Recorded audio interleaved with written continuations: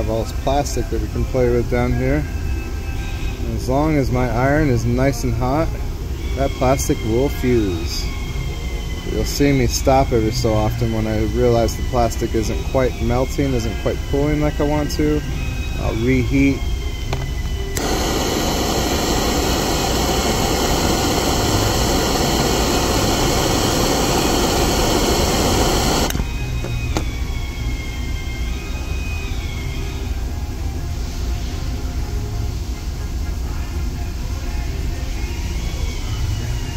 Playing with plastic, guys.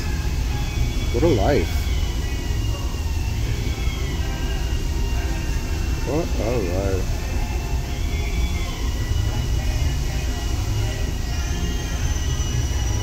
You know, also, too, it's good for the environment.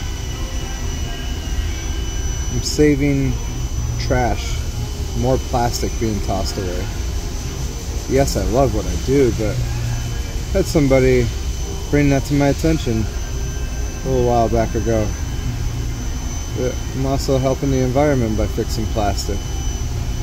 So, for what it's worth, I think that's cool.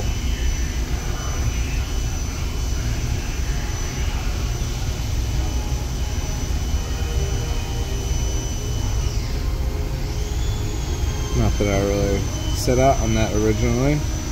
I just thought playing with plastic seemed like a good career choice.